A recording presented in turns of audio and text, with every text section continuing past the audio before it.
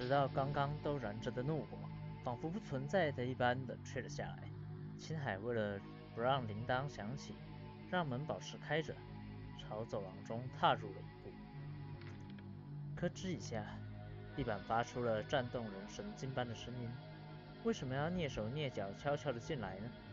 仔细想想，青海也觉得很不可思议，但总觉得这是很有必要的。屋内的味道十分呛鼻，外面闻到的根本无法与之相比，就像是将鱼的内脏搜罗起来呕烂了似的，让人鼻子酸疼的污臭。估计在厨房放着什么腐烂的食物吧。说起来，走廊深处传来了某种声音。踏着吱呀作响的地板前进，走廊尽头处左右两侧形成了鲜明的对比，一边明亮，一边黑暗。青海窥视向了那明暗的明亮的房间，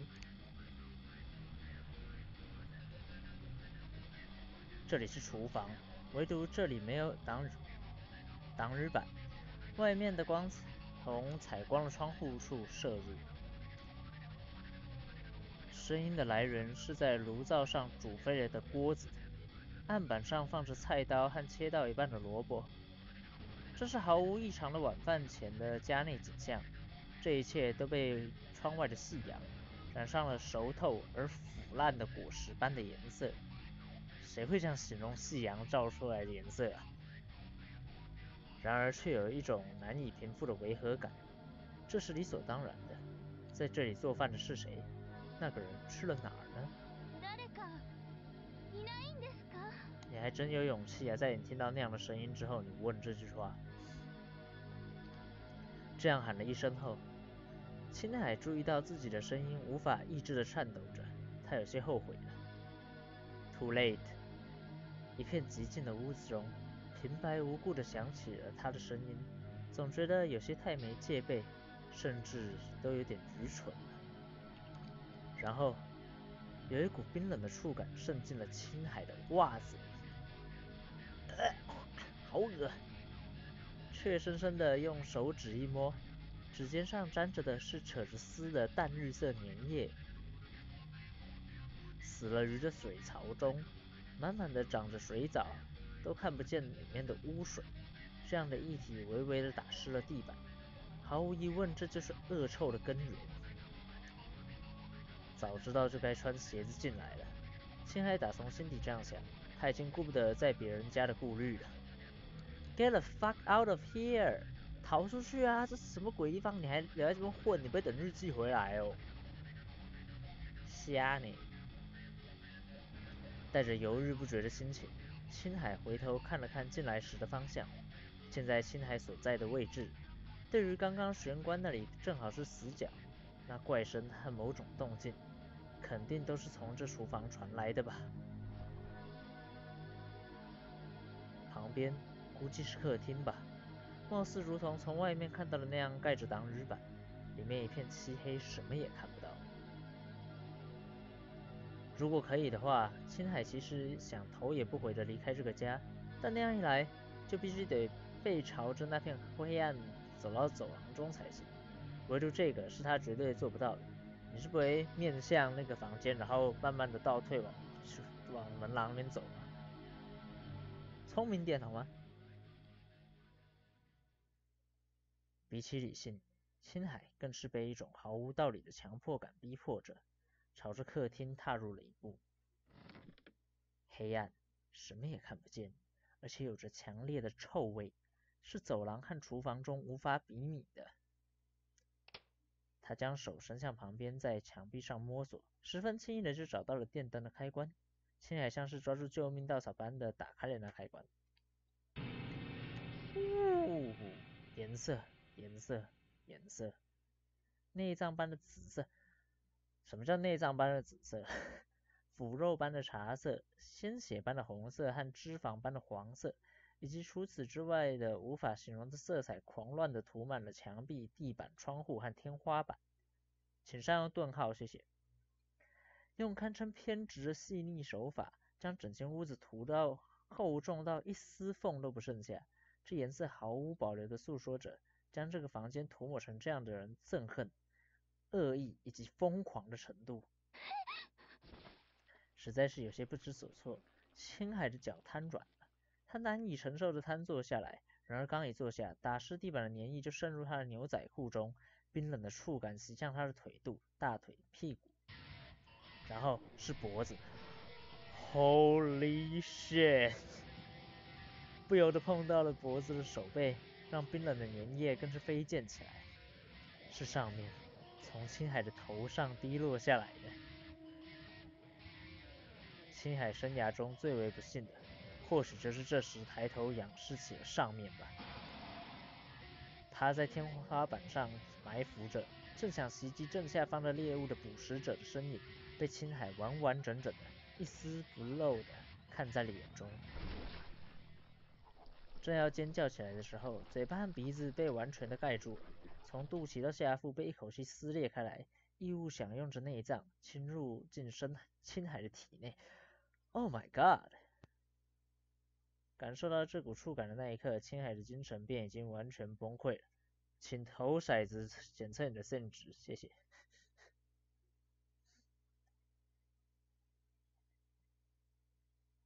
虽然我下定决心试坐了电车，但果然还是无法忍受接近晚高峰时段的人流。在途中的车站下了车，步行走完了剩下的归路。比平时晚了，晚回来了很多，估计沙爷也很担心吧。但愿他别生气就好。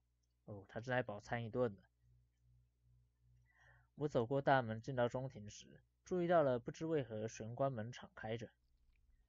走廊深处的客厅中发出着电灯的光亮，杂嘴的声音伴随着某种芳香的味道一同传来。是沙爷吗？本来想喊一声的，但仔细想想，我还是沉默着走到了屋内。有股奇妙的味道，但绝对没有什么让人不悦的，不如说甚至是让人觉得清爽的芳香，感觉很像沙爷头发的香味。你在跟我说内脏吗？Oh my god！哇！我瞄到客厅里的景象，头一次让我感到困惑。一块青草般的什么东西覆盖在地上，香草般的清香就是它发出的吧？除此之外，也有水果、蔬菜般的大小各异的碎块。散落在各个地方。就在这里，沙野背朝我坐着，似乎很入迷的享用着什么。沙野，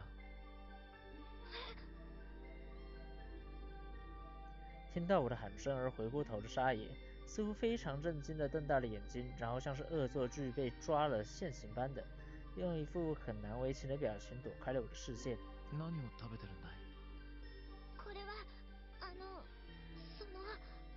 沙爷狼狈的让我甚至有些过意不去。说起来，沙爷绝对不会让我看到他吃饭的情形，估计是在这方面非常害羞吧。我心里总觉得像是卑劣的偷看了他一样，连忙向沙爷道歉。啊，fuck！我捡起我旁边扔着的果实般的东西，没等沙爷伸手制止我，就把它送进了口中。You sick motherfucker！吃起来感觉很是奇妙，口感像桃子或者是杨梨那样柔软而又有弹力。仔细嚼嚼，用大牙嚼烂，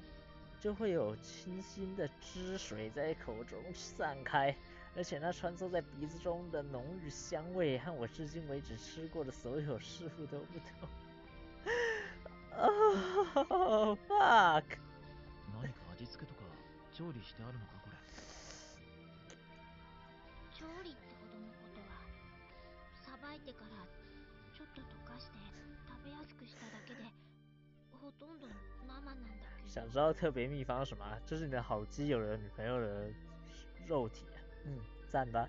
嗯。我试着拿了另一块，这块的心似乎很硬，带着厚厚的果肉，试着嚼了嚼，味道也相似。心，脊椎骨。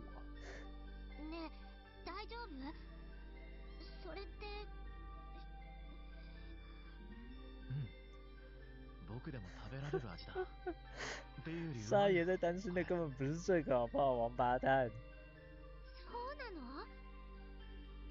沙爷似乎有些惊慌，不知所措， 但过了一会儿，还是很有趣似的大笑起来。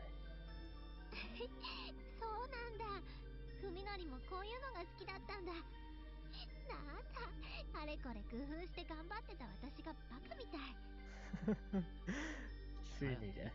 則も こういうのが好きだったんだ。なんだ、あれこれ工夫して頑張ってた私がバカみたい。さやっていつもこういうものを食べてたのか。こんな大物は久しぶりだけどね。うん。近所の公園とかで取ってくれるやつ。呃，所以你是吃小孩还是吃流浪动物？嗯？的确，在附近没多远的地方，有着室室内为数不多的绿地公园。虽然没听说过那里还长着这样的果物，对了，只是我现在看作是果物，实际上应该是别的东西。你现在才发现吗？ ごめんね。一番美味しいところはさっきさやが全部食べちゃった。いいよ、また今度で。でもこれで明日から一緒に食事ができるね。沙爷似乎真的很开心的样子，当然我也一样。相比一个人无聊的吃饭，能和别人一起吃，就不论什么我都能吃得下。那你可以回去 吃那些恶心的东西吗？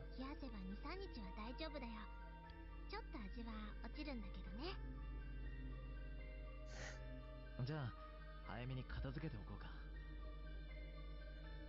我们将小的果肉放进保鲜盒，将大的放到锅和纸板箱里，盖上保鲜膜。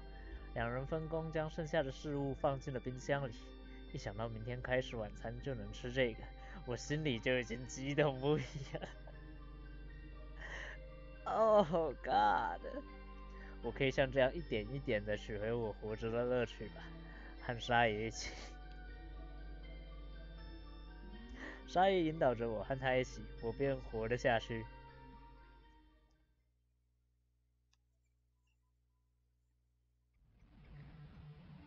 真实存在的可怕传闻，医院篇第四章：某著名大学附属医院的怪物。以拥有室内稀有设备而闻名的某大学附属医院，在这儿当实习生的 K 先生，惊人的最新体验谈，信还是不信？我们医院中发生怪事是从今年初春开始的，出现了很多次住院患者。在深夜因噩梦而惊醒的情况，似乎大家都是做了非常可怕的梦，也有人陷入失眠，必须要开处方给安眠药才行，甚至还有几个人因为这个而转院的。不可思议的是，一问到做的噩梦，大家的回答似乎都一样，说是有某种长相非常恶心的怪物正在枕边俯视着他。但真正怪异的事，我想也是从那时候发生的。我们医院在某个大学的教区内，这里栖息很多只野猫，会有学生给它们喂食，所以附近的野猫都会聚集到这儿。可回过神来，野猫的数量好像少了很多，而且，与其说是猫们不住不往大水这儿来了，不如说是在附近都看不到野猫的身影，也看不到有狗来散步。听传闻说，并不是饲主改变了遛狗路线，而是狗变得不愿意靠近大水附近了。就在这种时候，一水部丢了些东西，丢的是内脏，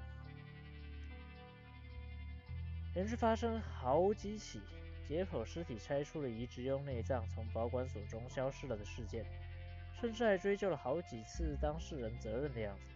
这已经不是一次两次了，似乎我们实习生不知道的情况下，还发生过好几次相同的事件，也开始有人口口相传。说这所医院里是不是栖息着什么东西？清洁工也有好几次发现，只有可能是夜里粘上了诡异污痕的情况，比如走廊中有什么蠕动而过的痕迹，或是从天花板流到墙上的怪污渍。我也听说值夜班的护士有听到过奇怪的响动，就在这样的日子里，住院中的患者就会闹出噩梦骚动。最后，这番话在医院里是绝对不能说的来着。仅有一次，妇产车似乎发生了非常不得了的骚动，有一个新生儿在夜里消失了。如果这是真的，那么就会是一个得烦恼警察出动的新闻了。但这是被大人物不惜代价的打理的没有公之于众，当然这只是传闻了。但这些诡异的事从夏末起就戛然而止了。现在几乎已经没有被噩梦惊醒的患者，在校内也能看到猫了。虽说如此，但今年夏天在那所医院里到底发生了什么呢？如今回想起来，我还是不寒而栗。嗯。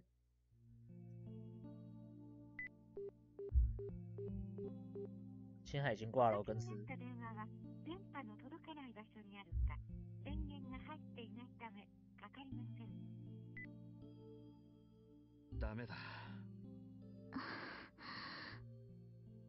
已经有三天无法和青海取得联络了。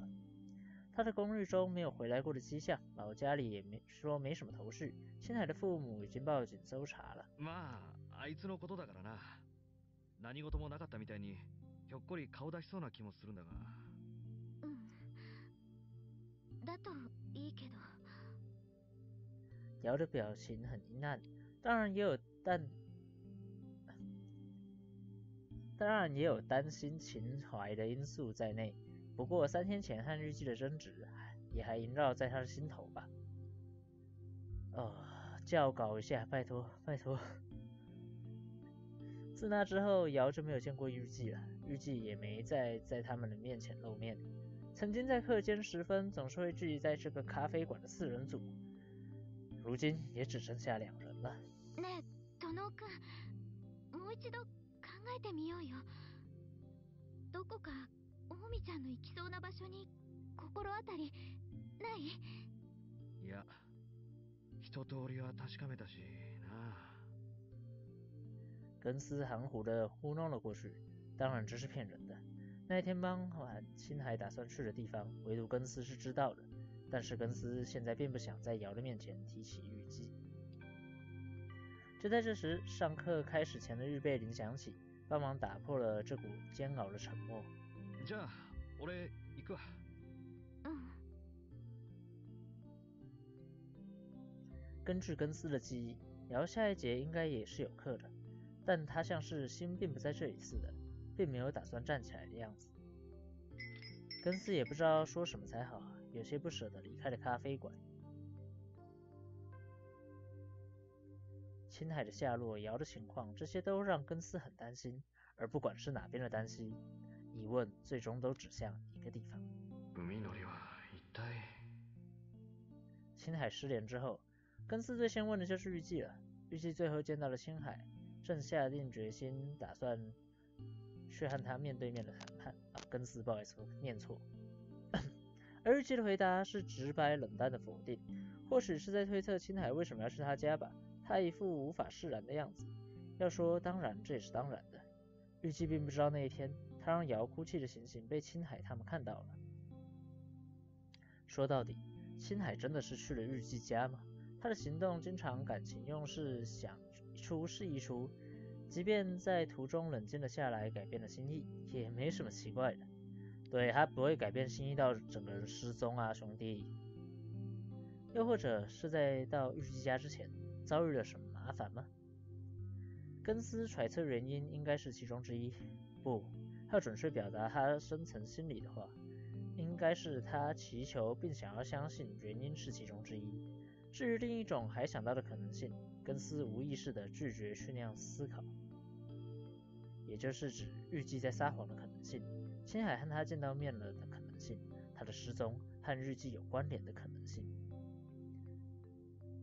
负起了负责起了青海案件的刑警来询问的时候，根思也只是不算撒谎的说，分别的时候他告诉自己是要去 N 区 S 站，更进一步的情况则糊弄了过去。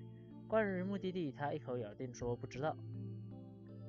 当然，他也想对青海的搜查进行协助，但是日记自己都说了他没有到日记家，那么肯定没错。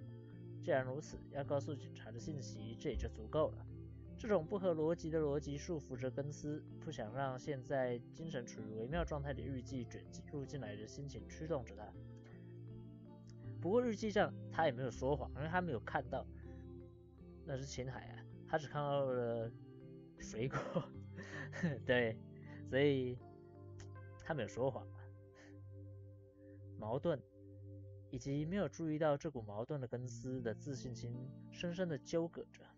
但唯有对日记抱有着疑问，无形之中让根斯的思考陷入循环。根斯完全陷入沉思，就连走着路都没能注意到周围的情况。但不如说，或许就是因为他处于这种状态，所以才能隔着学生们的人流，一眼瞥到挚友的背影。哇哦！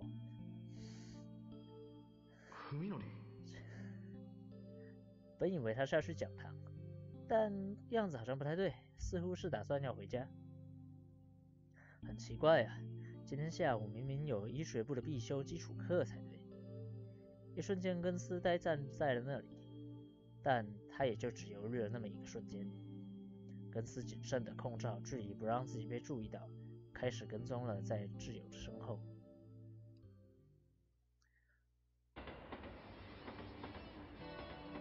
预计并不是要回家。当他在车站坐了反方向的电车之时，这一点就已经确定了。从方向上来推测，他应该是要去就诊的 T 大医院。但即便到了最近的车站，也没见预计要下车的样子。一开始，根斯也觉得自己做的事非常无聊，偷偷跟在别人后面这种做法也让他心里很过意不去。但对预计行动的深深疑惑，让他忘却了这种纠葛。他的行动越是不可理解，就越让人在意，使他的性格变得天翻地覆的线索。不管是多么些微的线索，都比没有要来的强。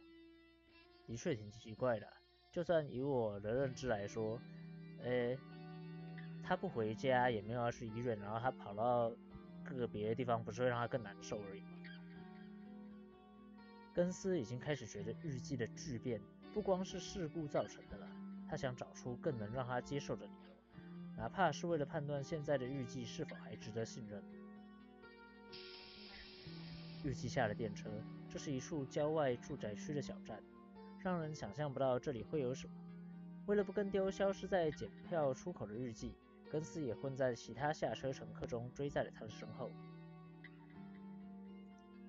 站前连环岛转盘都没有，那也自然就没有能称得上商店街的热闹景象，有的只是小小的书店、便利店以及一家小超市的寂寥景象罢了。没必要担心会跟丢在前面的日记。似乎这条路他已经走惯了，日记目不斜视的快步走着。这是一片强行从丘陵中央开辟出来。充满了坡道的新兴住宅区，到处都留有着没完全开发成住宅地的斜坡和杂树林。为了上学而来到东京的根斯，并没想到东京居然拥有离市中心仅一小时车程的如此恬静的土地。终于，预计像是被一栋宅子的玄关口吸入进去一样消失在那里。他没有按铃，也没有敲门，就像是走进自己家一样毫无顾虑。这让根斯有些惊讶。等了一会儿，确认到日记没有要出来的样子，根斯便靠近门口看了下名牌。奥牙，没听说过日记有这个姓氏的熟人。比起这个，更加吸引根斯注意的是送信口中堆积到溢出来的传单的厚度。这栋宅子应该是空屋吧？这样想。就总觉得的确是比两次的宅子更加挤进。在两个街区距离的地方有一栋小小的儿童公园，要监视奥牙家玄关的话，从那里就足够了。庆幸的是，这栋宅子看起来并不像有后门。文斯在公园的长椅上坐了下来，边后悔着，要是能多买点烟就好了。这种些微的小事，便安心的坚持了起来。过了一小时，过了两小时，都没有任何人出入奥牙家的景象。夕阳渐渐地将附近的住宅区染上了黄昏的颜色。身上带的烟已经抽光了，之后就要开始和无聊做斗争了。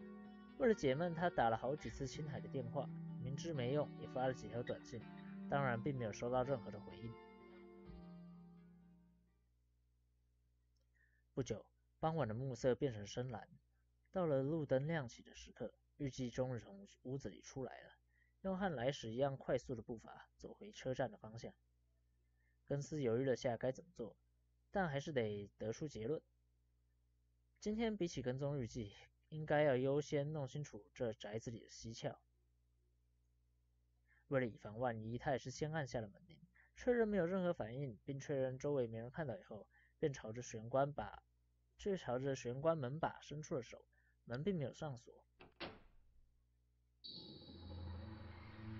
刚一走进去，一股弥漫着草木气息的空气便刺激着根丝的鼻子，是一股积蓄了霉斑和灰尘的，能明显判断出宅子很久没人出入了的独特气味。再加上无人打理的水池也散发着一股难以形容的尸臭味，这栋宅子里果然没有人住吧？根丝按了按电灯的开关，然而没有反应，也不只是电匣关了。还是压根儿就没电，也不知是，不好意思。唉，根斯点着了油灯，照亮了附近。厚厚堆积着尘埃的地板上，杂乱的印着新的足迹，估计是日记踩的吧。看来他是穿着鞋进来了。根斯也不顾忌，穿着鞋就走进了玄关。屋内死一般的寂静和萧暗。暴露在了让人不安的摇曳的灯火之中。最先让根斯感到震惊的是，那种简直没有任何缺损的生活感，从家具到餐具、日常用品等等，看起来好像什么都没被带走。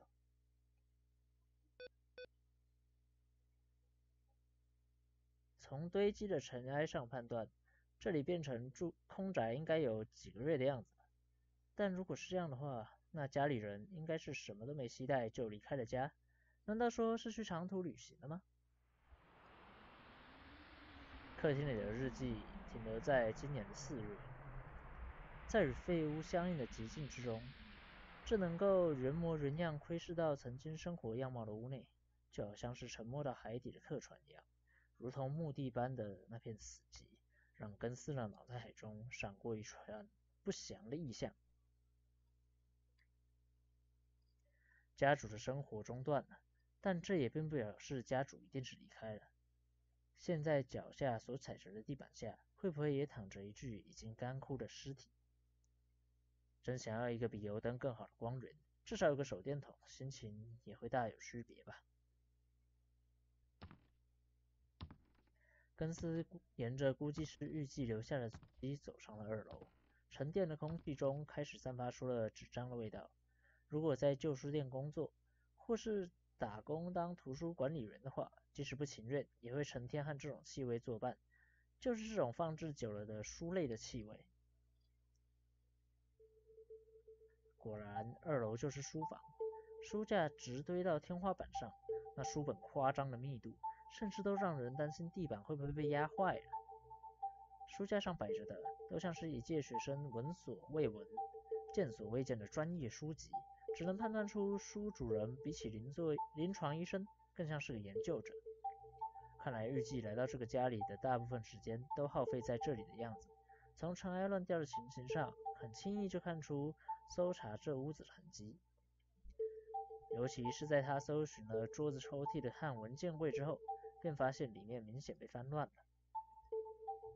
忽然，根斯留意到了侧桌上平摆着的几本书。摆在桌上，应该就是说这是最频繁参考的几本书吧。从这种位置上摆放着什么种类的书，应该能窥视出书主人到底是怎样的人物。但根斯皱起了眉头，三本书都是用经历了很长年头的厚重牛皮纸包裹着的西洋书，比起说是学术书籍，不如说看着更像是该收纳在玻璃柜中的那种稀有书。书名也是个谜。Traité des Chiffres。就算这本是符号学之书，那 Ars Magna et Optima 是占卜什么书吗？我觉得那不是英文，我不我不觉得我念对。另外一本 Vonich Manuscript。这貌似是什么东西的抄本，但打开翻了几页，就感觉是毫无意义的字母的罗列，完全无法阅读。或许是用了暗号之类的吧。不管哪一本，都是和医术没什么关联的书，这让根斯对奥牙是医生的推断有些没自信了。忽然降下视线，根斯发现椅子腿边有金属一样的东西泛着黑光，是能装进口袋里大小的手电筒。这东西和这个房间显得极不相称，估计是日记带来的吧。根斯边品味着那些小的安心感，边把光源从油灯换成了手电筒。别看尺寸很小，然而发出的白光却意外的很强，驱散了黑暗。有这个就好多了。根斯重振精神，决定巡视下这个家的其他地方。嗯？根斯很快就注意到了靠之前油灯微弱光亮发现不了的奇妙东西。那是一滩污渍，特别是门把和楼梯扶手处尤为明显，并不是手垢那种程度，就像是被裹着脏抹布似抓过似的。莫名的黑色液状污渍遍布在各处。仔细一看，在墙上稍低的位置，靠近地板的地方，也都也到处都沾着飞沫一般的污痕，也很可能是没沾水，就粗暴的用抹布在地板上来回擦了擦而留下的污渍。这是奥牙生活中留下的吗？但如果这么想的话，这可能机未免太过奇怪了，让人不禁想象有着全身滴着污水的居住者在屋内蠕动的样子，根斯心心不由得。感到一阵恶心。书房的隔壁是卧室，忽然根斯涌起了一股知觉。他搜了搜衣柜，结果找到了两个空空如也的旅行箱。如果是出门长期旅行，那么不管怎么想，把这种东西留在家里都很奇怪。他的体温突然下降了好几度，果然住在这里的人，或许就在这个家的某处。根斯忍受着想要逃离这里的情绪，从二楼上下来，开始搜索起了一楼。如果有死尸在的话，那就不得不立即喊警察来了。而根斯的指纹早已沾满了整个屋内。虽说要是现在作为第一发现者报警会被追究非法侵入，但要是到了日后，那也没办法为自己辩护了。在手电筒的光亮中一看。客厅里的污痕要严重的多了，沙发之类的就跟从泥潭里捞出来似的。在厨房瞄了一眼水池附近，根斯就放弃水池了，放弃靠近水池了。他已经不想再想象这家里的人是怎样生活的了。根斯来到了浴室前，对对对，你离开你离开厨房的水池，然后你走到走到浴室，然后你发现浴缸都是水，王八蛋。根斯的脑海里闪过了在电视剧里经常看到的那种场景：泡在装满水的浴缸里，用剃刀割腕自杀画面。说起来，在电影什么里面也有杀手在浴室分尸死者的场景。根斯做好了觉悟，轻轻地打开了浴室的门，手电筒的光照射进了出现在视野里朦胧的陶制浴缸内。那里被肋骨。轮廓干瘪的腐肉和血迹笼罩着一片漆黑。根斯用手扶着墙，忍耐着下肢的瘫软，同时也感受到一股违和感。他拼命的组织思维，想要站起来。骨头虽说是骨头，但太小了，而且数量太多，并不是人类的骨头。根斯反复深呼吸好几次，冷静下来。他走进浴室，更加仔细地观察起了浴缸内。小小的骨头堆满了半个浴缸，而且还堆积着落叶似的什么东西。明显是并非人类什么的小动物，应该是小狗、小猫以及老鼠、麻雀之类的生物尸骸。虽说如此，这个量也太异常了，堆积了那么多的骨头，那到底是汇集了多少尸体啊？尸体被拆解了四分五裂。绝不可能就只是把尸骸放到浴缸里，弄成白骨。然而其中的理由，在看到每根骨头上都残留着几个钩状痕迹时，就让人清楚了，这是啃肉留下的痕迹。就算是为了自己的理性，根斯也不愿想象这会是人类干的。肯定是这户人家在饲养某种肉食动物作为宠物吧，而家主人则把当做饲料的动物的骨头。堆积在了浴缸里，但这样的话，为什么不好好清理掉？饲料吃剩下的残渣，就当做厨余垃圾丢掉不就行了吗？还是说家主人有不能离开家的理由呢？明白了，并非人骨的时候，根斯有些安下了心。 但那也就只有片刻而已。萦绕在这个家里的不可解的谜团，让根丝觉得更加骇人了。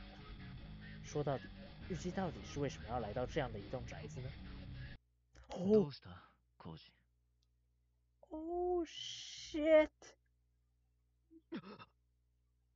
猛然转过身的根丝手里手电筒发出了光，找到了在他身后面无表情的日记， 照在了他身后面无表情的日记人的脸上。